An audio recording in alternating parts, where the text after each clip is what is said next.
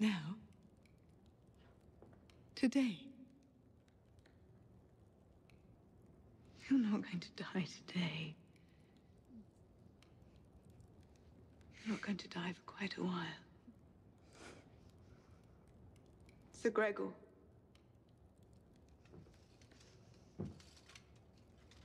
This is Sir Gregor Clegane. He's quiet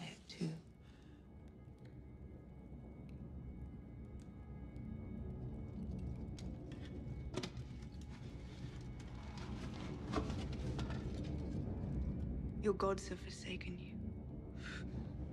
This is your god now.